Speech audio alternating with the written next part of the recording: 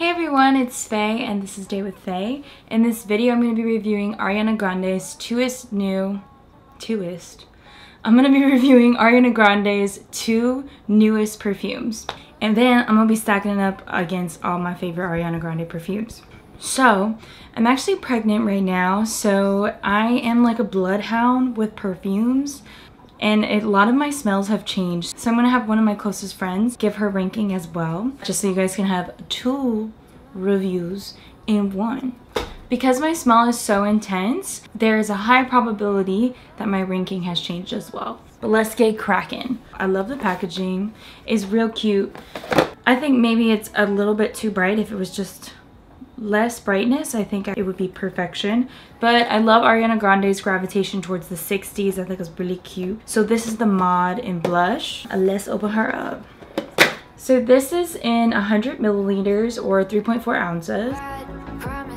Let's read how they describe this perfume. It kind of reminds me of the 60s but mixed in with the 90s a little bit. It reminds me of those little eyes that Christina Aguilera used to have. I don't know if you guys know what I'm talking about if I remember what I'm talking about, it's right here, but it kind of gives me that vibe. This opens up with a blend of bergamot and passion fruit for an alluring introduction. Dewy rose and magnolia with a touch of pear create a breathtaking evolution on the skin. Ambrox and musk leave an intimately luxurious impression. So basically here are what the notes are. For our top notes we have passion fruit, Italian bergamot, bright raspberry, and pink pepper. For our middle notes we have dewy magnolia, pink rose petals, and juicy pear. For our base notes, we have Ambrox, Dreamwood, and Radiant Musk. So let's see how it smells.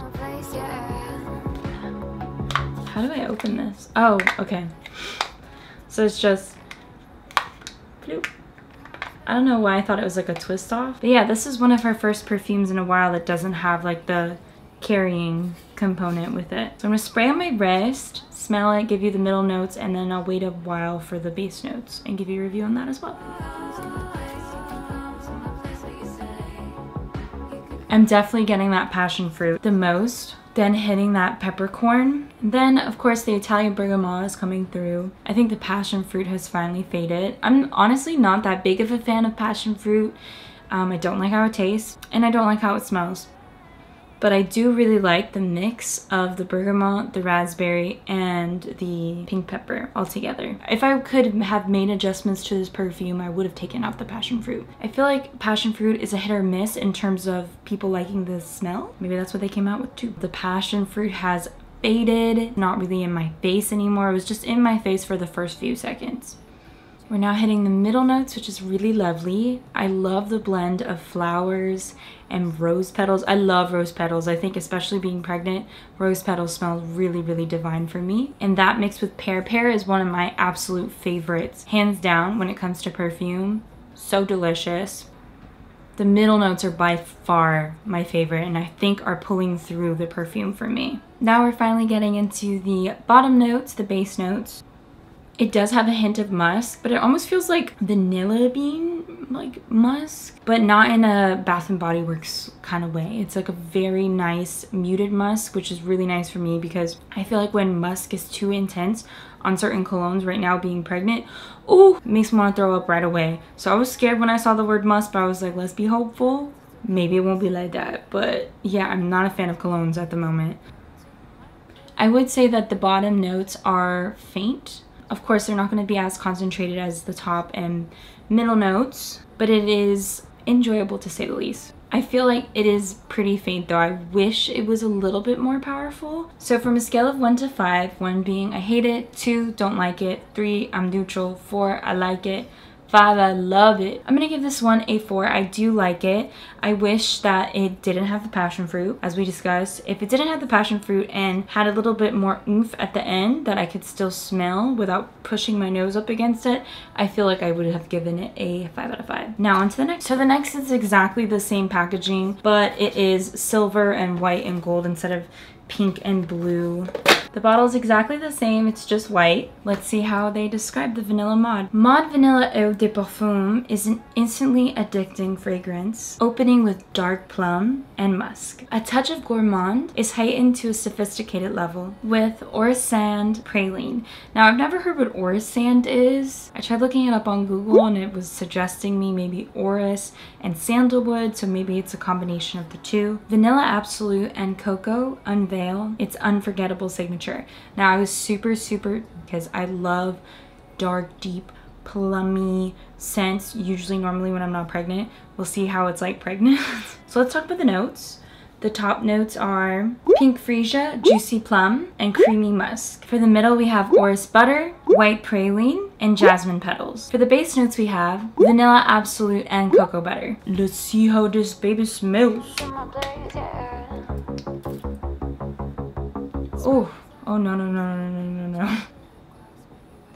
Okay, I do not know what it is, but there is something immediately that comes out and I hate it. Hate it, hate it, hate it, hate it but then it goes away. So it's just like a few seconds of hatred. I don't know what it is with the with the new mod perfumes where it's gotta it has to have something I don't like at first. I don't know if it was the freesia. I personally have never encountered freesia before, but once it got into the plum and the creamy musk, it felt so much better on my nose. But it's really, really faint. I have to push my nose up to smell it, which says a lot because again, I'm like a bloodhound.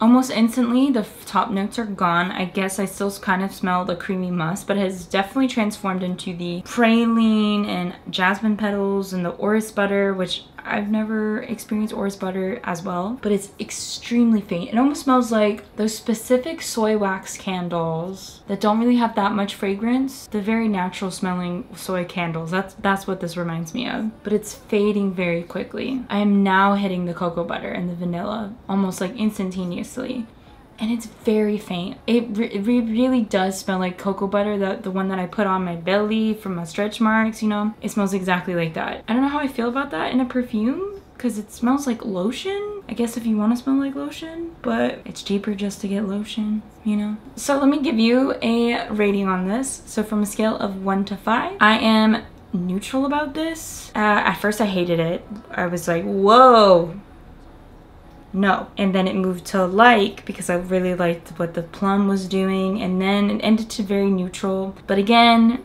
because of that cocoa butter smell, it's just like, if you want to smell like cocoa butter, just put cocoa butter on. I think it's like five bucks on Amazon. I don't think it's worth it. Now let's hear what one of my closest friend Lydia has to say about these two perfumes as well. Hey, I'm Lydia and I'm smelling the Mod blush right now. At first smell, it smells pretty sweet, like a flirty, girly type of perfume. Like it smells good, but it smells like a perfume I've smelled before. It definitely smells like pear. I don't really smell rose in it. Yeah, to me it's like mostly like fruity, sweet, but not overly sweet. It's not like Bath and Body Works. Okay, out of five, I would say three, just because I'm not a super sweet perfume girl, but if you are, you would probably like this. Like it's definitely very flirty, very fresh type of like sweetness. So I actually spoke to Lydia again and she sent me this text and changed her rating to a 4 out of 5 instead of 3 out of 5.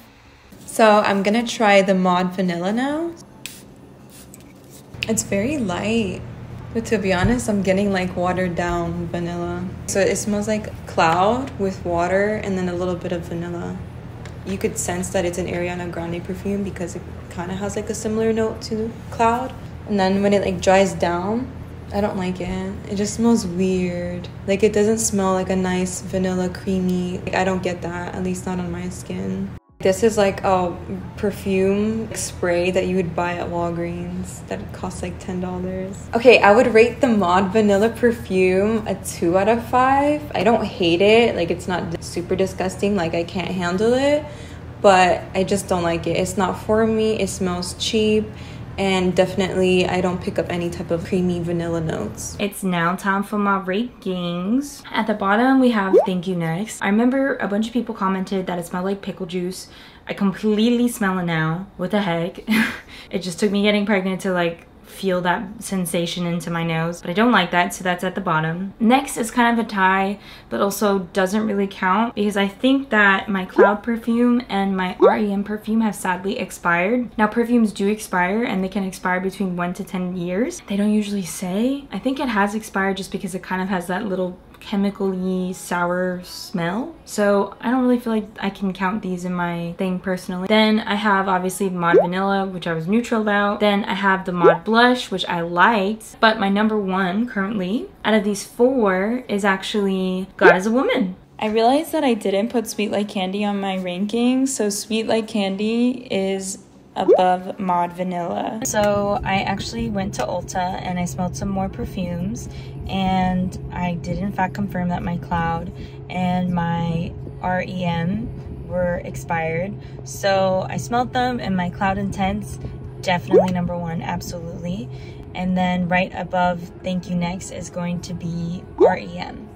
So that concludes my complete review on the Ariana Grande newest perfumes from Mod. If you guys felt the same way or even differently, please feel free to comment because I want whoever decides to make these purchases to have like really informed decisions and I feel like the best way to do that is if we have a discussion going on in the comments. I hope you guys have a beautiful rest of your day.